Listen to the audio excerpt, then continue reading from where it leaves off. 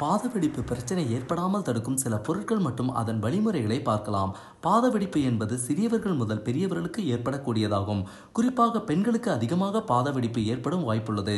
பாதவெடிப்பு ஏற்படுவதால் விரும்பிய காலணிகளை அணிய முடியாமல் அவதிப்படும் நிலை உருவாகிறது. பாதங்களை சரியாக பராமரிக்காத காரணத்தினாலே பாத வலிப்பு ஏற்படுகிறது. குதிகாலில் ஏற்படுவதால் இதனை குதிகால் வெடிப்பு என்றே கூறலாம். சருமத்தின் ஈரப்பதம் குறைவதால் விரிசல் ஏற்பட்டு பாத வெடிப்பு ஏற்படுகிறது. பாத வெடிப்பு தீவிரமடைந்தால் பாக்டீரியா பாதிப்பு ஏற்படும் வாய்ப்பு உள்ளது. பாத வெடிப்பு அசௌகரியம் தருவதுடன் வலி மற்றும் இரத்த கசிவு ஏற்படும் வாய்ப்புள்ளது பாத வெடிப்பு ஏற்பட பல காரணங்கள் கூறலாம். ஈரப்பதம் குறைவு வைட்டமின் மினரல் சத்து குறைபாடு நீண்ட நேரம் நிற்பது வயது சரி நோய் தைராய்டு நீரிழிவு சரியான காலணி அணியாதது மரபியல் உடல் வருமன் இவை அனைத்தும் பாத வெடிப்பிற்கான காரணமாகும். இதனை எவ்வாறு தடுக்கலாம் என்றால் பாதங்களில் ஈரப்பதத்தை பாதுகாக்க பாத வெடிப்பு ஏற்படாமல் தடுக்கும் சில பொருட்கள் தற்போது பார்க்கலாம்.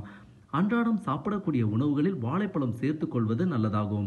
இதில் வைட்டமின் ஏ உள்ள வாழைப்பழம் சருமத்தின் நீளும் தன்மை மற்றும் ஈரப்பதத்தை பாதுகாக்க உதவும். வாழைப்பழத்தை மசித்து பாதங்களில் தடவி இருபது நிமிடம் விட்டு கழுவலாம். இயற்கை முறையில் தேன் ஒரு ஆன்டிபயோட்டிக்காக செயல்படுகிறது.